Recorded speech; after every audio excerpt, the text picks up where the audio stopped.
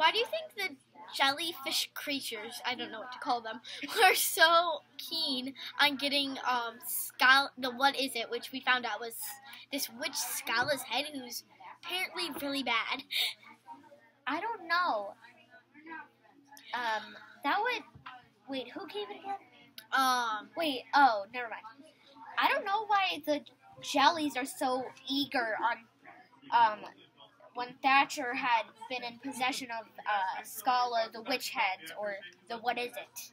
um I think they were keen on it because maybe they were trying maybe they want to be like I don't The know. all-seeking power. Yeah, and I think they wanted maybe to destroy other kingdoms, so maybe like they're under rule of somebody.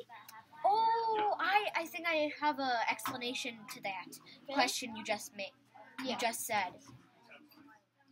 Um, Shoals, like people, are in need of Scala, the witch head, or the what is it? Uh huh. They were in need of it, and that's why she was yelling at Thatcher. That that's probably why they're in battle. I think they might be in battle of kingdoms. Oh, there was a, there was a war between the jellies and the and Shoals, Shoals people. But I also wonder who's ruling the jellyfish people. Yeah, who's ruling the jellies? Do they have this uh, all-seeking, all-seeking I have a king? I have an jelly? inference. It's a squid.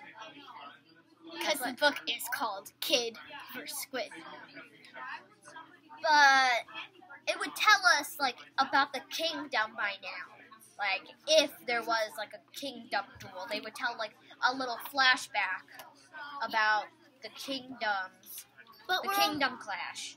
but we're only in 38 pages to the book, so I So maybe they would tell that like towards the end, maybe because no, that may, like I think they'll tell it maybe when we get to like 50 pages, just because then we'll be more into the book and we'll know more about what's happening. like we'll because we don't know when um they're gonna reveal the kingdom, the clash of kingdoms between Shoals people and the Jellies. And we also don't even know, like, really know who the jelly. Well, before they were the jelly BMX guys. Oh, It's odd why the Jellies were so eager to get the witch head skull. oh, also, they said he was Float Sam. I have no idea what Float Sam. Sam, Flat Sam is. But maybe Trudy as had replied that word again. I, I think it's Trudy or Thatcher that said that word again. Thatcher. Yeah, Thatcher said that word again.